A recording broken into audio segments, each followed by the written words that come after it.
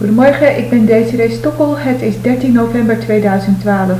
Professor Lisbeth Zegveld van advocatenkantoor Beuler werkt als huurmoordenaar voor het internationaal strafhof. Zij heeft overal de naamsbekendheid als professor in de rechten, maar ze is heel erg corrupt en ze heeft er geen enkele moeite mee om onder valse voorwenselen met de verkeerde mensen en op basis van de verkeerde juridische constructies internationale rechtszaken te voeren. Lisbeth Zegveld weet dat ik als Nederlandse vrouw een rechtszaak ben gestart tegen de Hoge Raad en tegen Nederlandse politici op 1 mei 2007.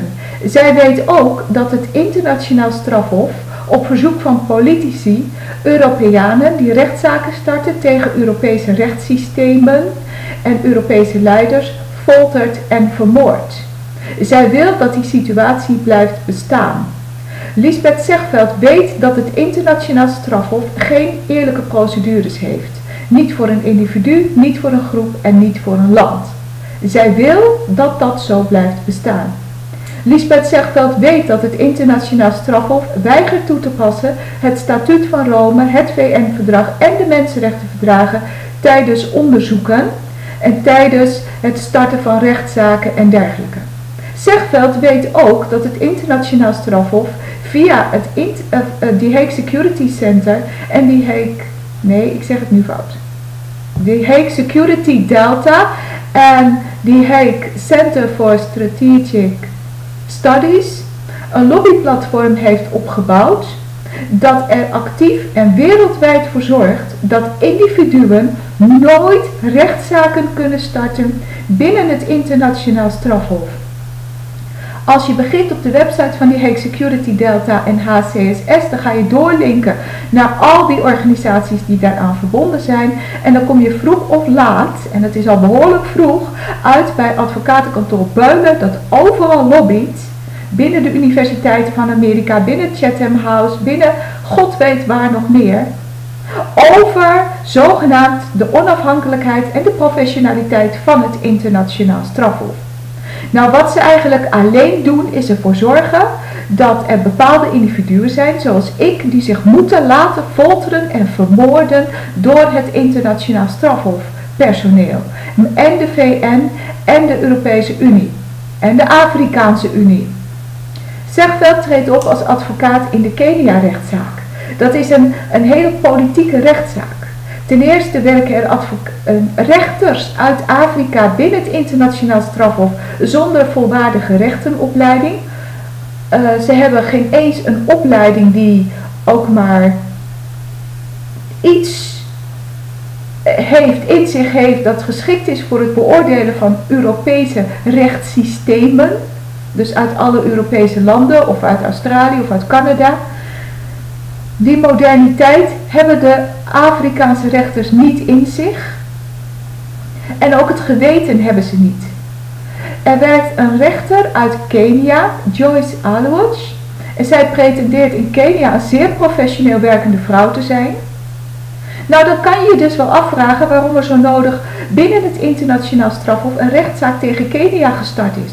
Als die, uh, die rechter uit Kenia, die binnen het ICC werkt, zo professioneel is, dan kan zij terug naar Kenia en dan kan zij voor het Keniaans volk alle oorlogsmisdadigers berechten. En er is ook een hele grote groep in Kenia zelf die helemaal niets met het internationaal strafhof te maken wil hebben, omdat ze weten dat het een lobby- en liquidatiecentrum is.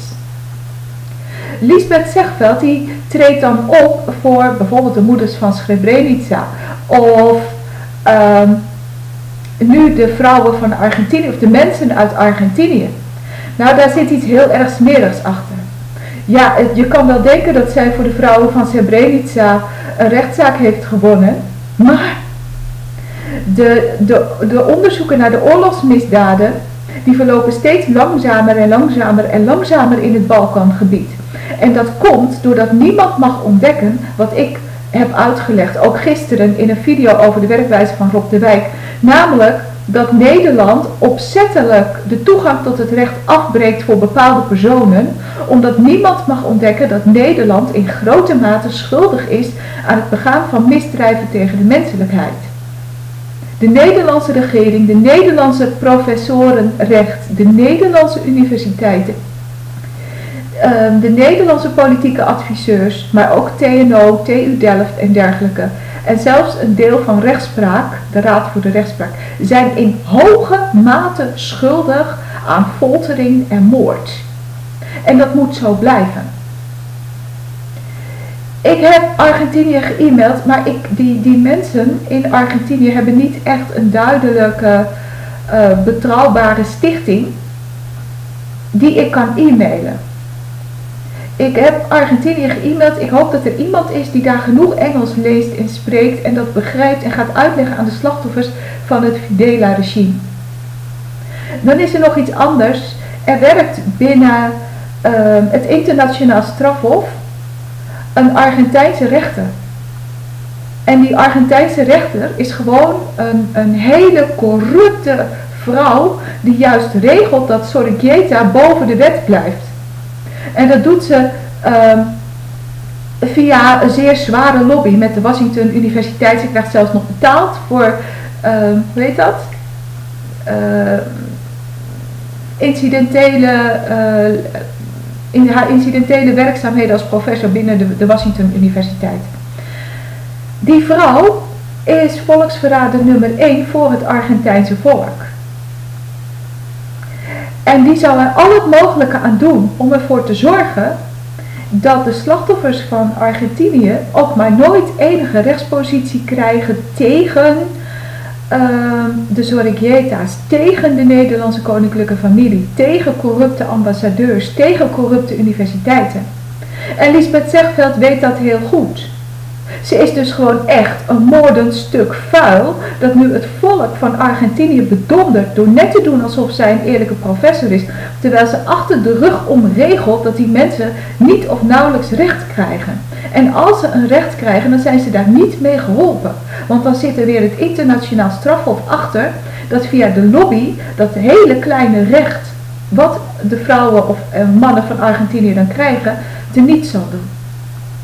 En dan Arnold Kerskens. Dat is gewoon een oplichter. Die stichting oorlogsmisdaden wil helemaal niets met mij te maken hebben. Ik heb ze ge-mailed, ze willen echt helemaal niets te maken hebben met het feit dat er een Nederlandse vrouw is die tegen Nederland een rechtszaak is gestart bij het internationaal strafhof. En alle corruptie inherent daaraan. En dat, dat brengt mij toch echt tot de conclusie dat Arnold Keskens alleen maar geld wil inzamelen voor zijn persoonlijke luxe reisjes. Zijn reis naar Argentinië is geen reis naar oorlogsgebied, daar loopt hij geen levensgevaar. Dus hij misbruikt die mensen. Um, ik hoop dat de Nederlanders komen die nou eindelijk eens een keer de koninklijke familie tot de orde roepen. Want dat is in Nederland een oorlogsmisdadigersclub. En uh, dat gaat gewoon ver, veel te ver. Ik ben, het, ik ben er wel doodziek van hoor, dat iedereen maar achter die koninklijke familie aanloopt. En dat, dat iedereen in Nederland uh, al die oorlogsmisdaden maar goedkeuren. En niemand eigenlijk wil weten hoe het internationaal strafhof zelf de Nederlandse economie afbreekt. Ook via de koninklijke familie. Ik stop. Dag.